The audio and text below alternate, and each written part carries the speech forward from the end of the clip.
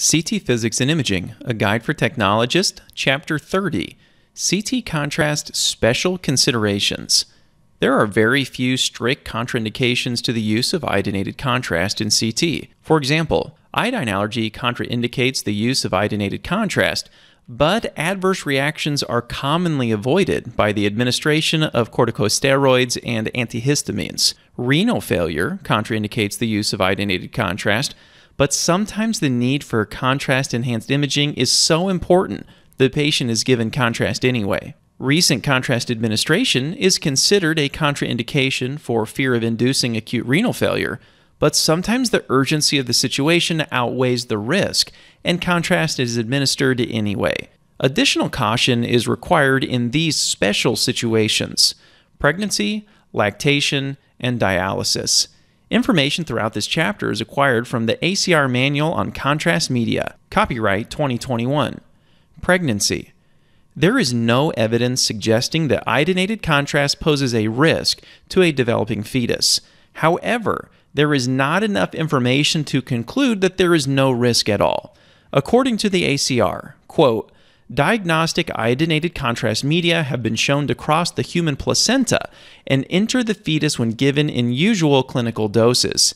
In vivo tests in animals have shown no evidence of either mutagenic or teratogenic effects with low osmolality contrast media. No well controlled studies of the teratogenic effects of these media in pregnant women have been performed. End quote. ACR 2020, page 97. The ACR states, quote, Given that there are no available data to suggest any potential harm to the fetus from exposure to iodinated contrast media via maternal IV or intraarterial injection, we do not recommend routine screening for pregnancy prior to contrast media use. This recommendation is also supported by the FDA, classifying of most iodinated contrast agents as category B medications. End quote. ACR 2021, page 98. The ACR concludes, quote, we do not recommend withholding the use of iodinated contrast agents in pregnant or potentially pregnant patients when it is needed for diagnostic purposes. End quote. ACR 2021, page 98. Lactation. Injection of iodinated contrast media for a breastfeeding mother is sometimes indicated. Fortunately, this does not present a major health risk to the baby. ACR states, quote, the likelihood of either direct toxic or allergic like manifestations resulting from ingested iodinated contrast media in the infant is extremely low. End quote. ACR 2021, page 101. Very little contrast passes to the infant. According to the ACR, quote, less than 1% of the administered maternal dose of iodinated contrast media is excreted into the breast milk in the first 24 hours. In addition, less than 1% of the contrast media ingested by the infant is absorbed from the gastrointestinal tract. Therefore, the expected systemic dose absorbed by the infant from the breast milk is less than 0.01% of the intravascular dose given to the mother. End quote. ACR 2021, page 101. Many technologists and radiologists still encourage mothers to pump and dump for 24 hours. This is because nearly 100% of the contrast will be cleared from her bloodstream within 24 hours. The official recommendation from the ACR is that the mother should be informed of her options and make her own decision. Quote, Ultimately, an informed decision to temporarily stop breastfeeding should be left up to the mother after these facts are communicated. If the mother remains concerned about any potential ill effects to the infant, she may abstain from breastfeeding from the time of contrast administration for a period of 12 to 24 hours. There is no value to stop breastfeeding beyond 24 hours. The mother should be told to express and discard breast milk from the breast during that period. ACR 2021, page 101. In summary, the dose of contrast to a nursing infant is extremely low.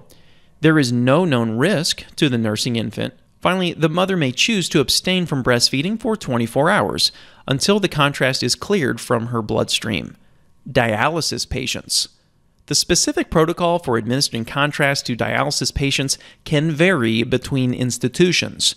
The information here is based on the conclusions and recommendations of the ACR. Quote, patients with anuritic end stage chronic renal disease who do not have a functioning transplant can receive intravascular iodinated contrast medium without risk of further renal damage because their kidneys are no longer functioning. However, there is a theoretical risk of converting an oliguric patient on dialysis to an anuritic patient on dialysis by exposing him or her to intravascular iodinated contrast media. This remains speculative as there are no conclusive outcome data in this setting. End quote.